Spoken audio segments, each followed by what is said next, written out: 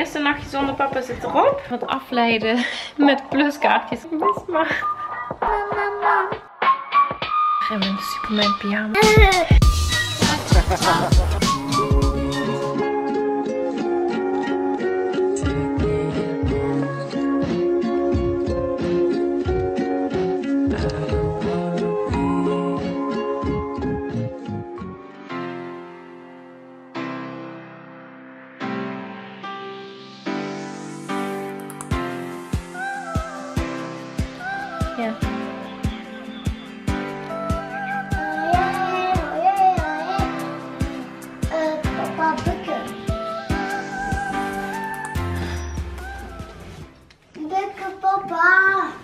Eerste nachtje zonder papa zit erop. Hoe heb ik geslapen?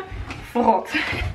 ik heb echt van 3 tot 5 of zo wakker gelegen. Heb ik de laatste tijd vaak. Ik denk dat er gewoon te veel leuke maar, of spannende dingen gaande zijn. Eh, ik kwam niet in slaap. Van alles geprobeerd. Goed. Lea en ik hebben vanochtend al wat eh, ja, boodschapjes gedaan die we nog nodig hadden voor Afrika. Ik had nog sokken nodig bijvoorbeeld. En Lea nog speltjes. En nu ben ik mezelf aan het afleiden met pluskaartjes. Maarten die is nu net eh, sinds 10 minuutjes vertrokken. Die heeft nu een vlucht van 11,5 uur voor de boeg. Wauw, goed zo schat. Heb je hem helemaal ingekleurd? Jongens, ik ben zo goed bezig. Ik heb al zoveel mannentaken gedaan vandaag. Ik heb al twee muggen kapot geslagen sinds gisteravond. Ik heb de wc gefixt. Die bleef doorspoelen. En nu, kijk eens aan, ben ik de vuilnis aan het doen. To be proud of, niet? Ik laat jullie even zien wat ik heb gekocht vanochtend in Brunsum. Speltjes voor Lea bij de Vibra gekocht. Sokken voor moeders ook bij de Vibra gekocht.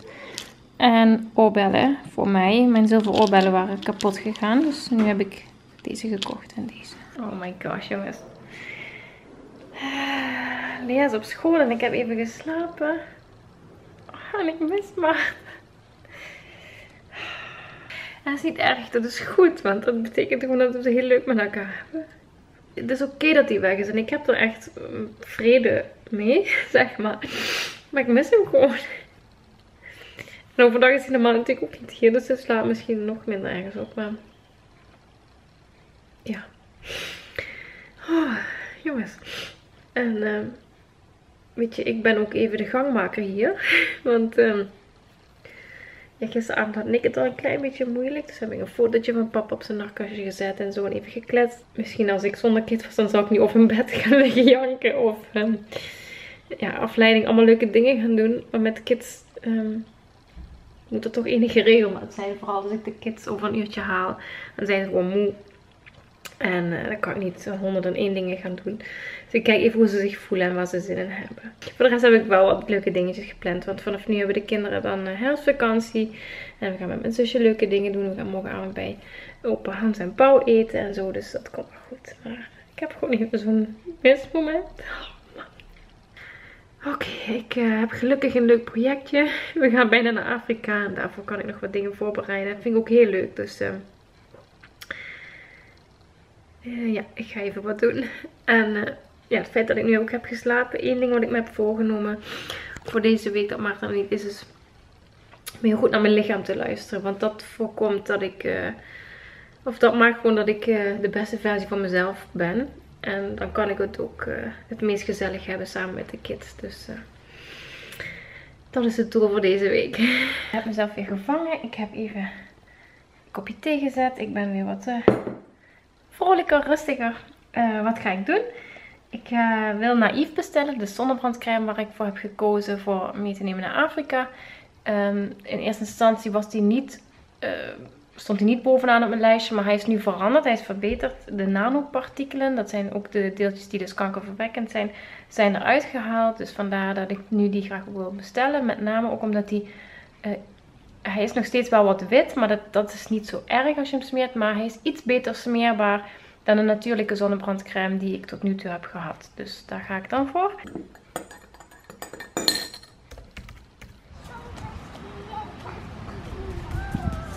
Oké, okay, ik probeer. Dat, hij is te ver weg, schat, denk ik.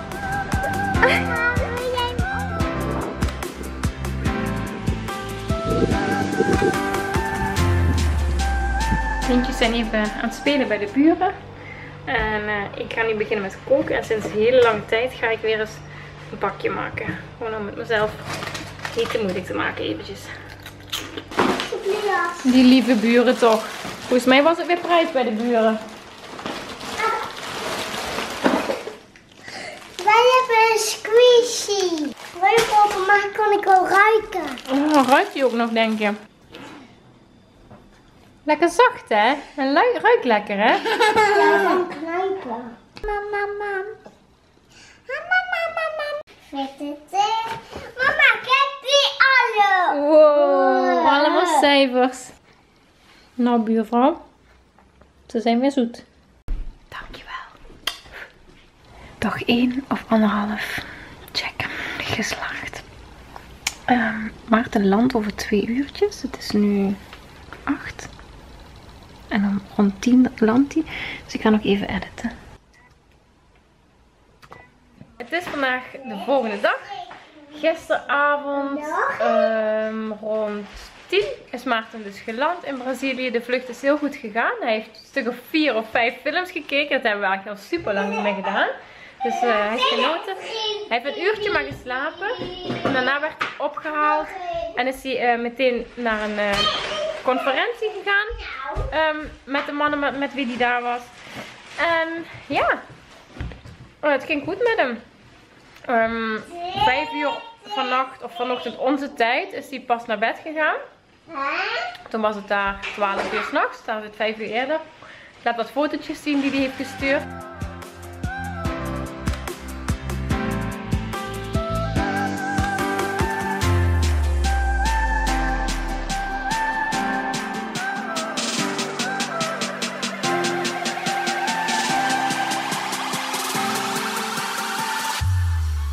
Planning was ehm, dat hij waarschijnlijk in een gastgezin samen met iemand anders eh, ging slapen.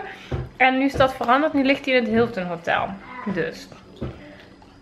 Maarten eh, heeft net heel even gefacetimed. Hij heeft een hele goede nacht gehad. Althans, hele goede voor zover als dat kan met een jetlag. Maar hij heeft wel wat geslapen. Ik ga nu met de kindjes naar de speeltuin. En aansluitend gaan we naar opa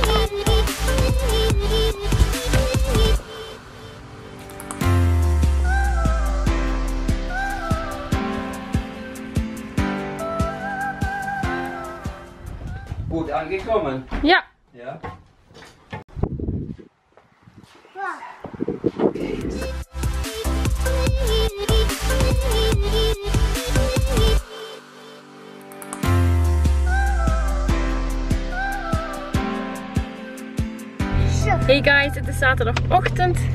We zitten dus bezakt en we pakten dus iets kwart voor negen. En we gaan even naar de bakker. We gaan even broodjes halen. En dan gaan we naar Bianca. En we gaan wandelen in het bos, eikeltjes zoeken, enzovoort, enzovoort. Ik moet opschieten. Daar de lucht. Nee, kon je Daar de lucht. Waar is Amy nou? Daar. Ja. Is dat een beetje snel? Hey guys, lig ik weer in mijn Superman pyjama. Het is kwart over negen. Ik heb een super leuke dag gehad. We waren lekker dus eh, op stap met mijn zusje en haar vriendin. En daarna uitgenodigd bij Arjen en Dev om daar te gaan eten. Was ook super leuk en gezellig en lekker. De kids hebben zich ook lekker vermaakt, ook met Sam. Alleen onderweg naar Arjen en Devro ging mijn auto kapot. Het lampje van de koelvloeistof ging aan. En ehm, de temperatuuraanwijzing die ging helemaal omhoog. Dus mijn auto was gewoon oververhit. Het is nog even de vraag wat er aan de hand is. Morgen komt mijn schoonbroer, mijn lieve schoonbroer David, even checken, even kijken. Die heeft meer verstand van auto's. Het was een lange dag. Het was een leuke dag, maar een lange dag. Dus nu ben ik blij dat ik zit. En eh, Maarten heeft trouwens ook weer een te gekke dag gehad. Heel veel indrukken weer. En eh, ja, ik ga nog even een vlogje kijken en dan ga ik lekker slapen. Vertel jullie begin van de week over de wc. Dat ik die gemaakt had, soort van. Maar hij bleef nu weer de hele tijd doorspoelen. En dat is een super oude wc. Dus ik heb wat online gelezen. Met mijn vader aan de lijn is het me gelukt om die kraan dan even dicht te draaien. En dan hoop ik dat ik lekker kan slapen. En ook dat de kinderen doorslapen. Nou, doei. Nee, geen stokjes. Ik ben zo moe. Vandaag was mijn zusje hier met haar man en kind. Met name ook omdat David dus even naar mijn auto heeft gekeken. Waarschijnlijk is de, is de thermostaat kapot. Nog drie nachtjes. En dan komt Maarten thuis. En nog elf nachtjes, dan gaan we naar Afrika. Ik wilde eigenlijk al wat verder zijn met de was en poetsen en dingetjes een beetje in de koffers doen. Maar ja, ik moet me even niet te veel verwachtingen stellen. Nu ik eventjes alleen ben met de kids. Ik ga zo lekker slapen. Het is 20 voor 9, maar ik ben echt moe. En morgen is de dag van de laatste prikjes. De kids weten het. Ik heb het weer opgetekend en we hebben het over gehad dat deze niet pijnlijk is. Ik ga met de auto van mijn vader, omdat mijn auto dat niet gaat trekken. En mijn zusje en Amy gaan mee, gelukkig, als steun. Wat ik nog wil laten zien even. Deze is vandaag aangekomen. Naïef factor 30. Naïef, heb ik laatst ook verteld, heeft dus geen nanopartikelen meer. En is ondanks dat redelijk goed smeerbaar. En ruikt alleen ontzettend lekker, dus ik vrees dat er wel parfum in zit. En waarom factor 30 en niet 50? Ik heb even gecheckt en qua bescherming is er niet veel verschil in die zin. Factor 30 beschermt volgens mij voor 96% en 50 voor 98%. En ik vind altijd als je 50 smeert, dan gebeurt er helemaal niks met je huid. Lijkt het alsof je zelfs nog witter wordt dan dat je bruin wordt. Dan hoef je niet per se super bruin te worden, maar een beetje een kleurtje ziet er wel gezond uit. Maar goed. En dit beschermt dus ook gewoon prima.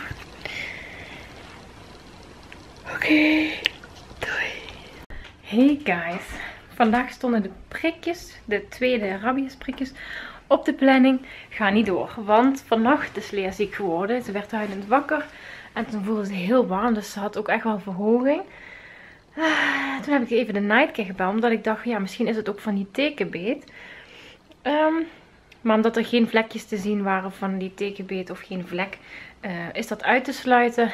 Moest ik wel een beetje in de gaten houden hoe het ging met de koorts verder, maar dat ging al heel snel terug. En vanochtend zat ze op de bank. Ik had er een knijpfruit gegeven, want ze had niet echt honger. En kwam alles retour. En heeft ze dus echt de hele ochtend alles zitten, ja, zitten overgeven. En eh, nu probeer ik er weer een klein beetje water af en toe te geven, want dat kwam er eerst ook nog uit. ik hoop dat het hierbij blijft. Ehm, ja, ik heb dus en de tandartsafspraak die ik nog had en de inentingen moeten verplaatsen naar volgende week. Dus dat wordt een lekker druk weekje voordat we naar Afrika gaan. Dat heb je volgens mij wel vaker als er grote dingen staan te gebeuren. Leuke dingen, nieuwe dingen. Dat dan ook vooraf wel even wat tegenslag komt. Keep calm. Uh, ik weet nog dat ik van het begin van de week dacht van, weet je, als alles mag er gebeuren, als, maar, uh, als Maarten weg is, als ze maar geen van de kinderen gaat overgeven. Dus, nou, auto kapot, wc kapot, Lea ziek. Maar ja, nog twee nachtjes, dan komt Maarten lekker weer thuis. En de postbode was net hier en die heeft uh, een pakketje van H&M gebracht. Dus die gaan we nu samen even openmaken. Even een bouillonnetje, die gaat er goed in. Heeft er zin in. Het gaat. Vind je wel lekker? En wil je nog wat soep hebben? Ik ga buurman. Wat gaat de buurman halen? Doekje. Oh, ik kom. De buurman gaat crackers voor jou halen vanmiddag, hè? We zo lieve buren. Mama, je kan niet zitten. Oh, hallo. En nou dan? Dan moet ik even zo... Ah. Nou, kom. Gaan we nog wat soep eten, lieverd? Volgens mij doet dat je wel goed. Cute orange fire truck. We're gonna put it right next to the red fire. T-shirt. Oh, dat is niet zo erg, schatje. Dat is water. Oké, jongens. Eerst die arbeid. En dan dat vergnügen. Dus ik kom zo bij jullie terug voor Hannah.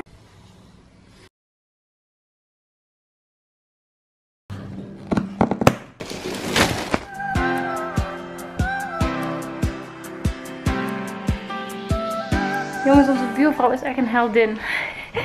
Ik vroeg, ze vroeg of ze iets mee kon nemen van de winkel. En ik vroeg om raketjes en crackers. En we krijgen weer een hele tas vol mooie dingetjes. Kijk, ik heb hier mooie bosbloemen gekregen.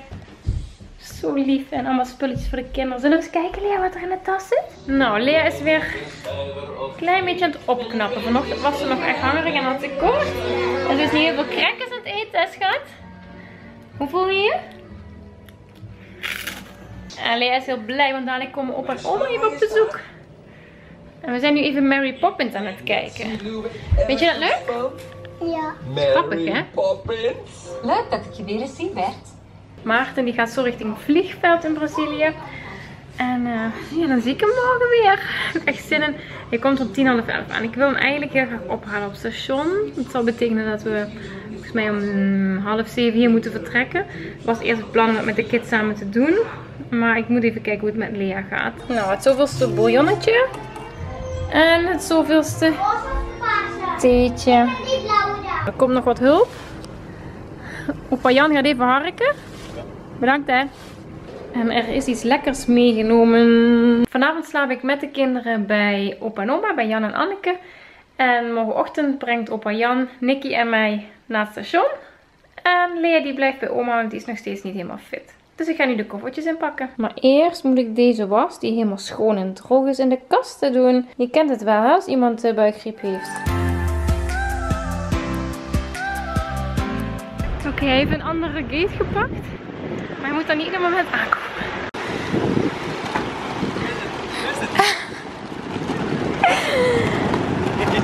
Hoe wist je dat? Waarom wist je dat? Kijk, Oh. Wist je het echt? Ik kan niet bellen. Om heerlijk te slapen. en ik heb zelfs niet morgen het laatste kaartje kunnen lezen. Hij kom hier jij. kom dan. Daar ben ik. Back home again. Nick heeft eh kikkie gebakken voor je. Oh, nice. Die was eigenlijk van hem en die was voor jou. Maar hij wilde eigenlijk mee, maar hij had geen zin om zich aan te kleden. Dus ging hij maar niet mee. Serieus? Dus heb je er nu zin in? Ja, dat, eh, dat is ik wel. Ik heb een kleinigheidje voor je gehad. Mhm. Het is meer echt een ehm, gebaar. Mhm. Eh, maar het zegt iets over ehm, hoe ik jou zie. En ehm, eh, wat jij voor mij betekent. En tegelijkertijd is het ook een, een steen die ik neerleg voor onze nieuwe periode. New season. En daarom heb ik dit gehad. In midden in São Paulo. Nou, kun je zelf maar. Wauw. Ben je?